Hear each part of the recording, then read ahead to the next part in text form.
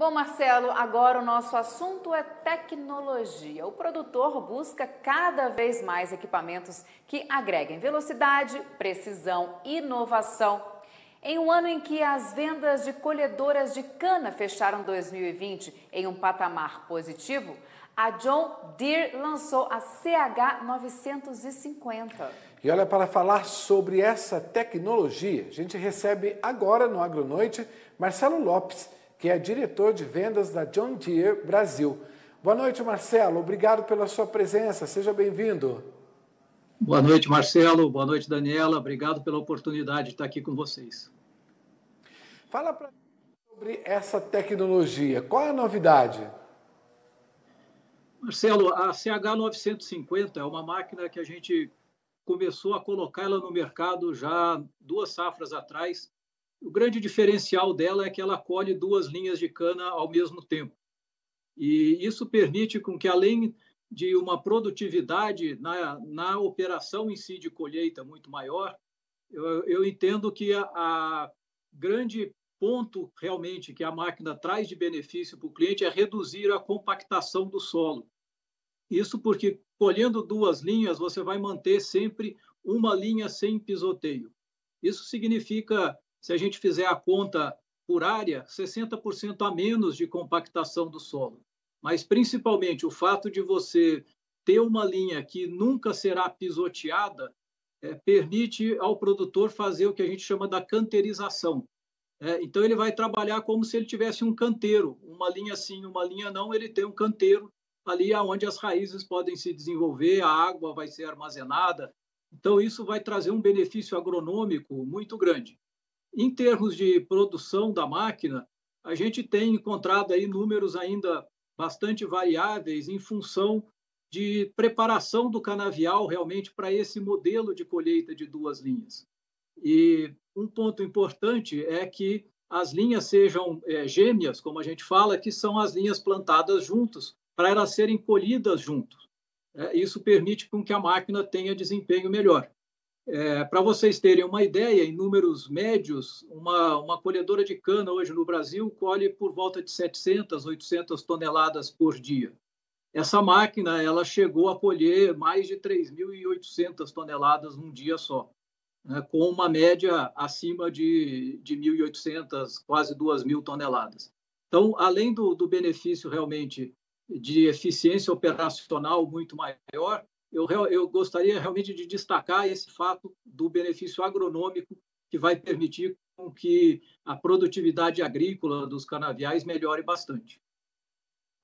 Marcelo, eu queria abordar com você também com relação ao consumo de energia. Também muda? É um bom ponto, Daniela. Obrigado pela, por lembrar isso. Né? É, à medida que você tem uma máquina colhendo as duas linhas, ela vai se deslocar menos no canavial. Então, o percurso que a máquina faz é a metade das outras, o que por si só já significa uma redução no consumo de combustível. Né? Então, você tem um equipamento que, apesar de ser mais pesado, ele compacta menos, apesar de ser mais pesado, ele gasta menos combustível porque ele se desloca menos.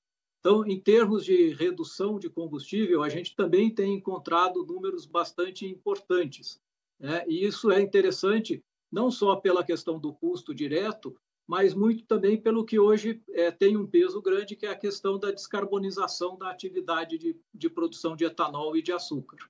Né? Além disso, a máquina também permite uma otimização melhor do sistema de transbordo, que são aqueles tratores que vão com vagões ao lado da máquina para que a máquina colhe a cana e carregue em cima desses vagões que vão depois levar para os caminhões que levam a cana para a usina.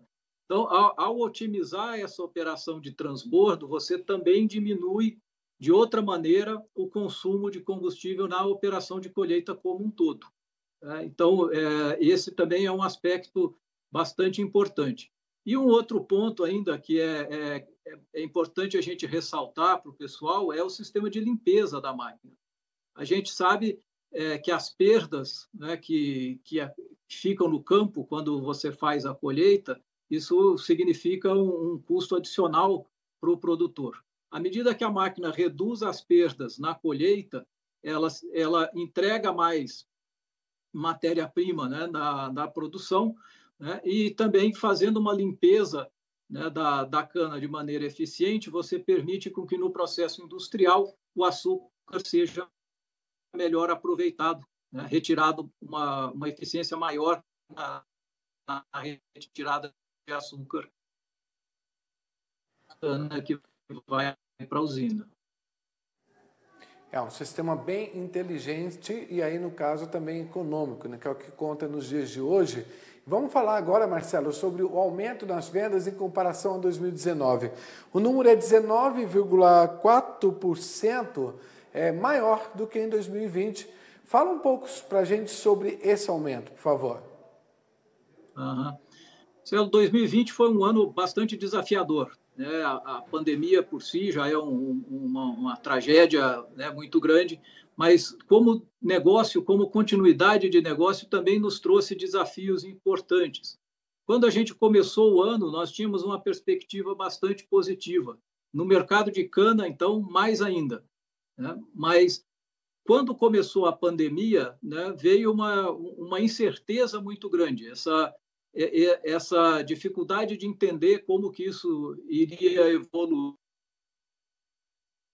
de que os clientes reagiriam a essa situação. Então, é, após um começo muito promissor, a gente teve, logo no início da pandemia, coisa de um ano atrás, um susto grande que fez com que todo mundo é, tomasse cuidado, né, foco no caixa do negócio, vamos ser mais conservador porque a gente não, não sabe quanto tempo isso dura e que impacto tem nos negócios.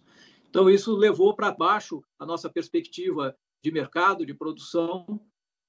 E depois, quando a gente chega ali pelo mês de junho, a gente vê que o impacto para o agronegócio ele é positivo, né? pela questão é, de desvalorização cambial, pelo, é, pela mexida que teve em todos os estoques mundiais de, de commodities.